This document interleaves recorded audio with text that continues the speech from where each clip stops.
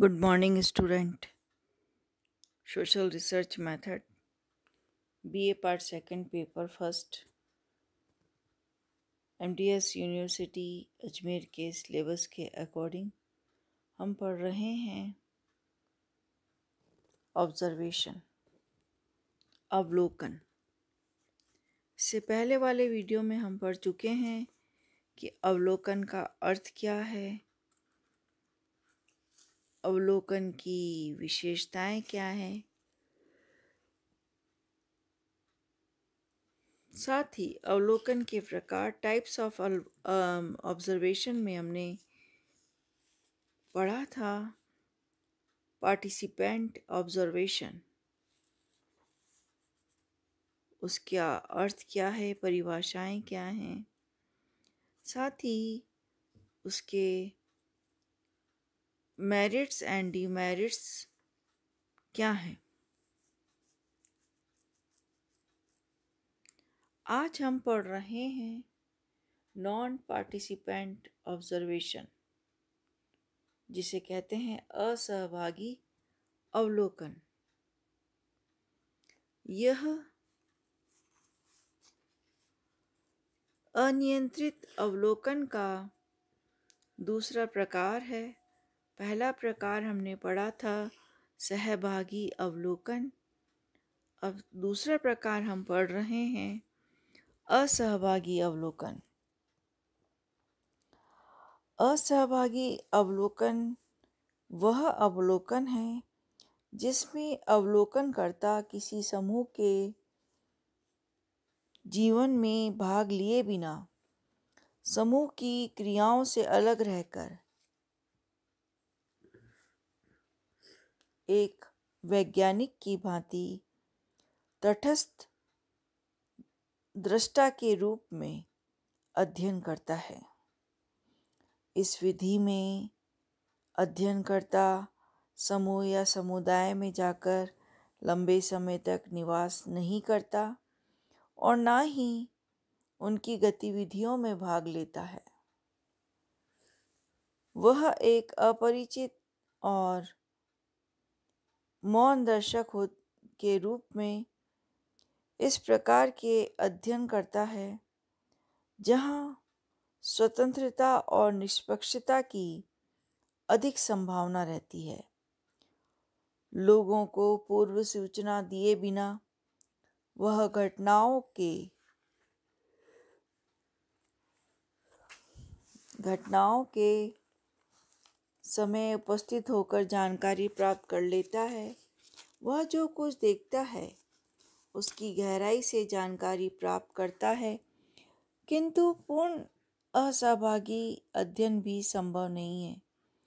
उसे कुछ क्रियाओं व गतिविधियों में समूह के लोगों के साथ रहना ही पड़ता है। इसे परिभाषित करते हुए गुडेम हार्ट कहते हैं कि जैसा कि जैसा कि छात्र समझ सकते हैं। विशुद्ध विशुद्ध असहभागी अवलोकन कठिन है। अवलोकन विधि का प्रयोग प्रायोगिक अवलोकन के लिए अधिक होता है।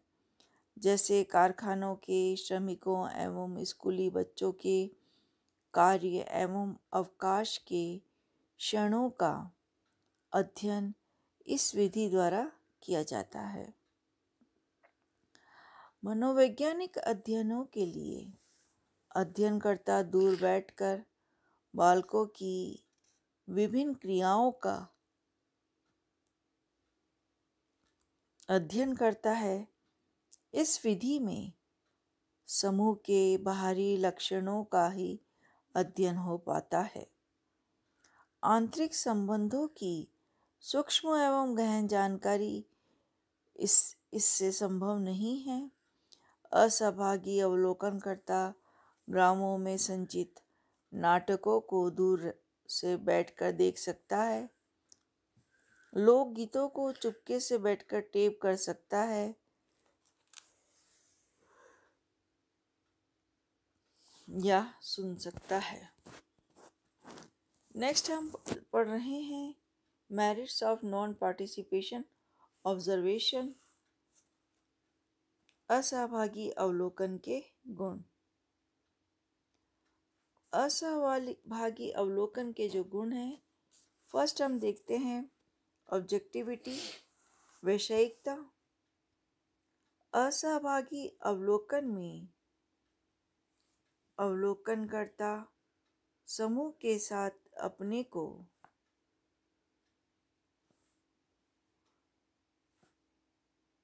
गुलाता मिलाता नहीं है। वरन एक तटस्थ और निष्पक्ष दृष्टा के रूप में घटनाओं को देखता है। उसकी उपस्थिति में घटनाएँ प्रभावित नहीं होती, अतः अध्ययन में वैषयिकता और वैज्ञानिकता बनी रहती है और पक्षपात नहीं आ पाता। नेक्स्ट है रिलायबिलिटी विश्वस, विश्वसनीयता। इस प्रकार के अध्ययन में अवलोकनकर्ता दूर बैठकर स्वयं ही सभी घटनाओं को नोट कर लेता है। इसलिए उसके द्वारा एकत, एकत्रित सूचनाएँ अधिक विश्वसनीय होती हैं। नेक्स्ट है मोर कॉरपोरेशन अधिक सहयोग इसमें अवलोकन करता समुदाय के किसी विशेष समूह के साथ घुलता मिलता नहीं है। अतः उसे सभी लोगों का आदर और सहयोग प्राप्त होता है। नेक्स्ट है ले, आ, लेस एक्सपेंसिव कम खर्चीली। असहभागी अवलोकन में सहभागी अवलोकन की तुलना में कम समय एवं धन लगता है, क्योंकि इसमें अनुसंधान करता अवलोकन करता जाकर समुदाय के साथ ना रह के वरन तटस्थ रूप से घटनाओं का अध्ययन करता है। इसलिए यह विधि कम खर्चीली है। नेक्स्ट है spectator can enjoy more than actor दर्शक अभिनेता की तुलना में अधिक आनंद ले सकता है।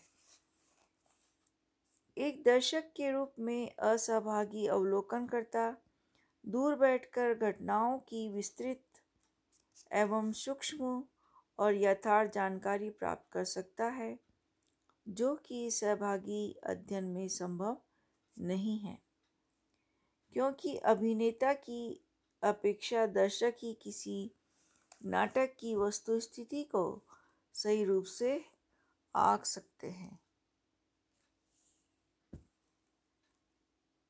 तो इस तरह से हमने देखा कि असहभागी अवलोकन क्या है, उसके गुण क्या हैं।